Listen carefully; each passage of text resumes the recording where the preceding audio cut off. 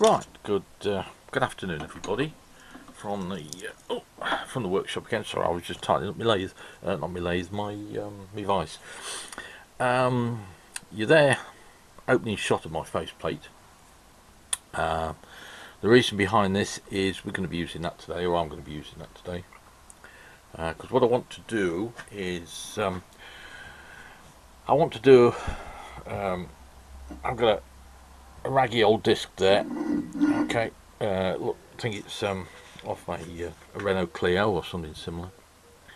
Um, and I want to use that um, in one of my um, in one of my upcycling sculptures, um, and I can't really use it in the state it's in. Um, so what I'm going to do is I'm going to skim it. Uh, skimming discs used to be quite common at one point. Um, uh, about 10-20 years ago, um, in fact possibly further back than that. Um, you know, discs used to be quite expensive, uh, so when you got a crappy disc like this, um, first thing that happened was you'd find uh, your local machine shop and they'd skim it for you, or some garages actually had tools to do it. Um, so uh, it's not a difficult job it's a bit of a messy job but uh, anyway um, so nowadays uh, because what disc like this is what about 12 pounds 12 pounds 50 15 tops. Um, so not a lot really cheap. Um, because they're chucked out in their thousands possibly a day um, in a factory. So so they're very cheap so people don't bother to skim them anymore um, you know when they when they get uh, when they get beyond repair they just chuck them uh, and to me nothing is beyond repair. I'll have a go at anything. Um, so what I'm going to do is I'm going to skim this side. I'm going to do this side first because we've got a nice flat surface there to mount it on the faceplate mount it on the faceplate skim this side all the way in to the center. Then we'll turn it over and then we'll skim it all the way into there and up the sides. Yeah. um, and possibly we'll do this edge as well while we're at it.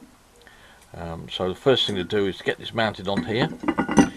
Um, so we'll be using two bolt holes some some T-nuts T-nuts, a couple of bolts, a couple of washers and get it set up, get it centered because that's the thing on the on the surface plate is getting it centered and um, then we'll get it on the lathe. I've already got a tool set up the lathe, nice big carbide tool uh, on the lathe ready to rock and roll so uh, so we'll just um, get that mounted and um, then we'll stick it on the lathe and we'll see how it goes. That's uh, that mounted to the faceplate so um, now we'll get the, uh, the whole kit caboodle on the lathe.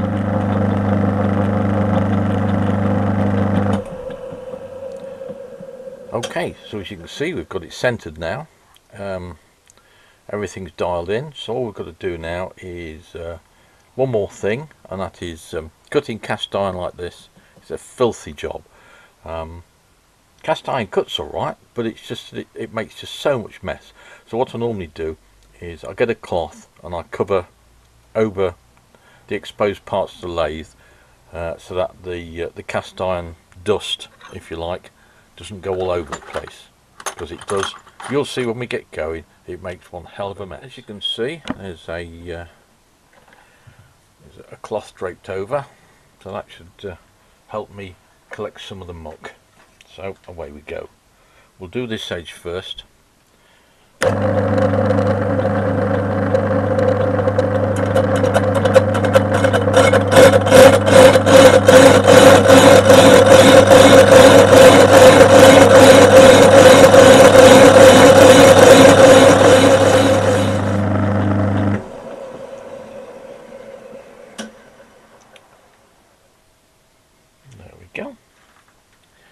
one edge done. You possibly uh, can't actually quite see what. I might actually move the camera so you can get a better view of this because it's. Uh, and you'll be able to see how much muck I'm making. So uh, hang on, and I'll just move things around a little. Okay, that's moved you a bit closer to the action. All right, let's. Uh, you'll notice I've repositioned the tool because um, we're not cutting the edge anymore now we're going to start cutting down here uh, and it's going to make a terrible mess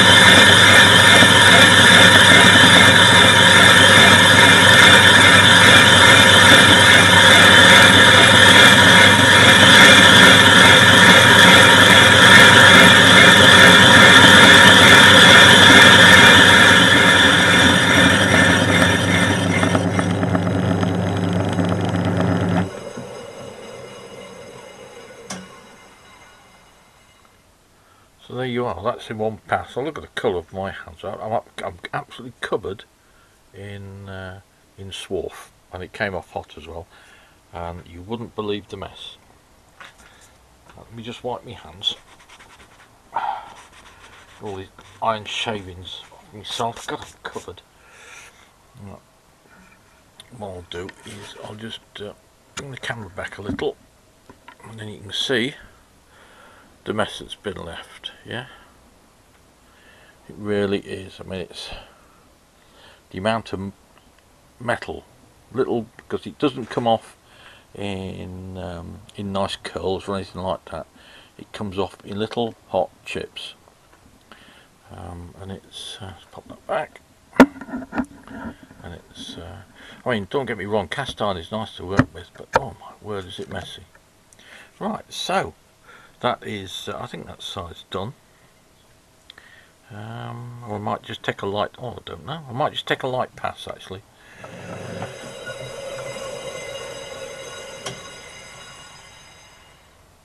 Now that looks nice. I'll just take that sharp edge off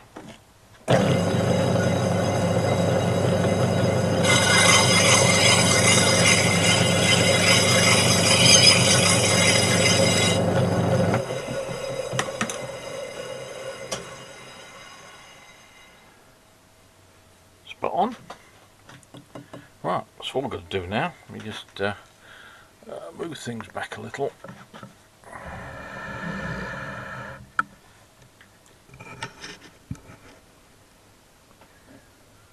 There we go. So what we're going to do now is just uh, clean all this lot off. Turn the disc round and start again. Let's, uh, let's go ahead and see uh, see how we go.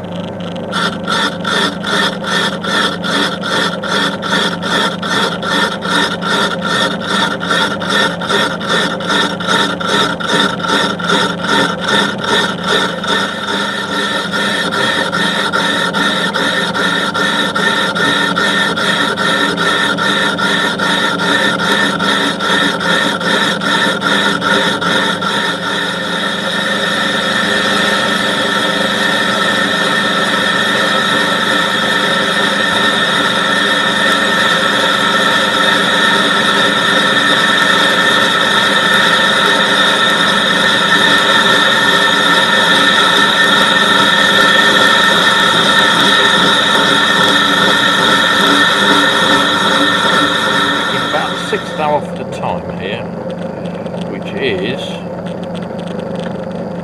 0.15 millimeters. For those who's working metric, I can work in both, so it doesn't bother me. Right, this will be the last pass for this.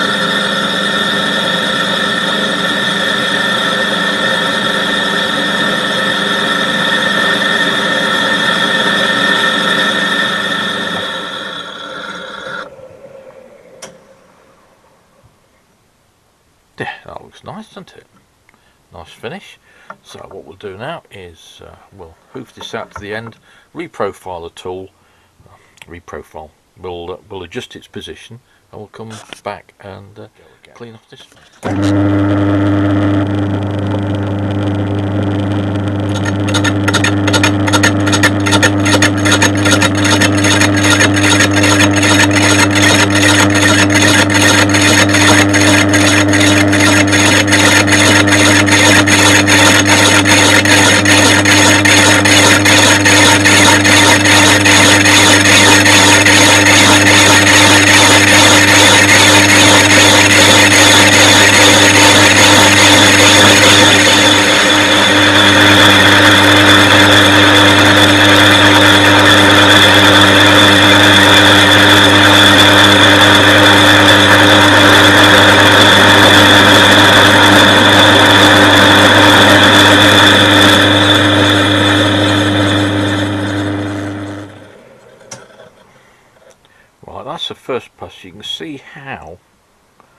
how these things corrode.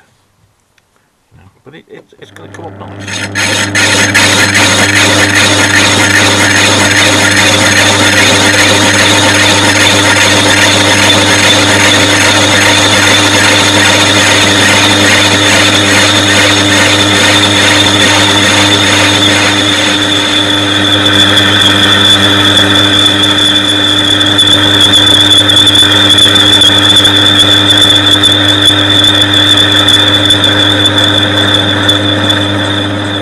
more passes to go I think before we've got rid of this little bit in here um, so um, I'll uh, we'll come back to this when, uh, we're done.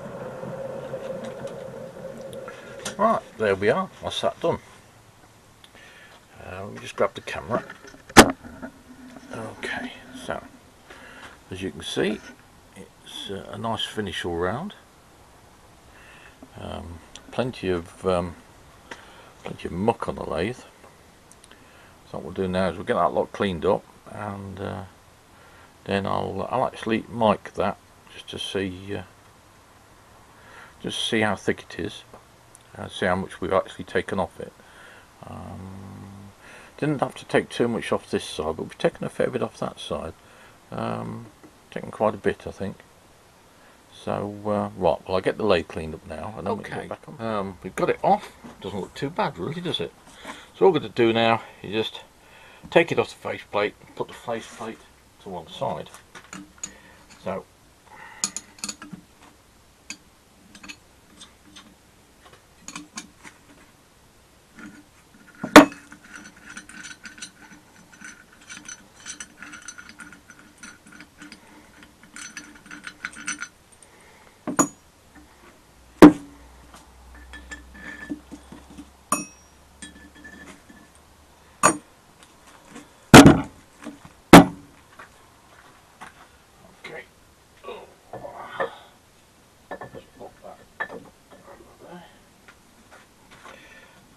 dokie.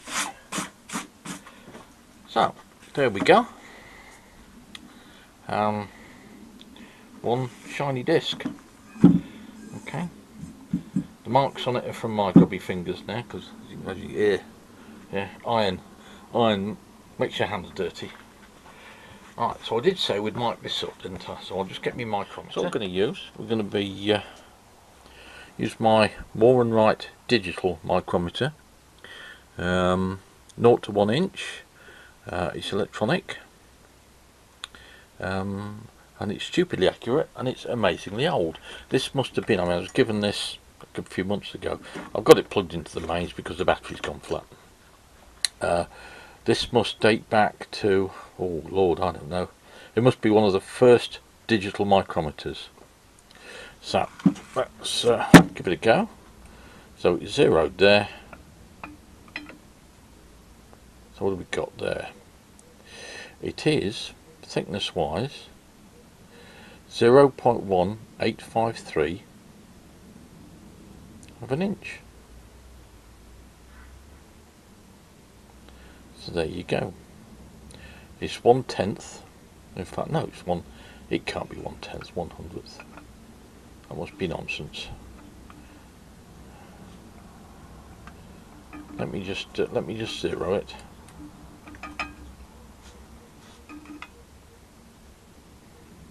Okay, there we go. It's point one eight four one eight four eight. 0.1848 right? Of an inch. 0.1848 well it was 4849 because I'm jiffling about a bit here. Lord knows how old that is. It must date uh, back to what late 60s early 70s maybe mid 70s yeah I've got no idea because there's no date on it um, I've no idea who got it from, but judging by the 1H number, it's uh, an ex uh, piece, um, which is why it's so accurate. It does have a tendency just to get its get its knickers in a twist sometimes, doesn't it? There you 0.185, 0.185. Brilliant. So, there we go. That's that done. So, all I've got to do is uh, tie the place. Oh, and if you're wondering how much metal we got off, this is a 60 gram coffee tin. Yeah. And today we've managed just about to fill it up if you look in there. Yeah. That's all the metal. Not all of it, but that's about 90% of the metal we've taken off. The other 10% is uh, on the floor by the looks of it. Yeah. And that's why I cover the lathe up when I'm doing cast iron. I shall keep that because that will come in handy uh, when I'm doing other things. You know, get some aluminium shavings in there and uh, then you've got your own thermite then haven't you? Then we can have fun with thermite. Marvellous. But that's for another day. So, put that to one side. There's the disc. So that can go, um, that can finish being cleaned off, get all the grease off it. And then I can use that for whatever I wanted ever per. I'll try that again. Right, so there's the uh, there's the metal that I'm going to use um, sometime in the future. There's the disc now, it's nice and clean. Um, just needs degreasing on the inside and then I can go and um, use that for my little uh, little upcycling project. So that's all from the workshop today I think. So once again, um, hope you enjoyed it. Um, and uh, don't forget to subscribe and thank you for watching.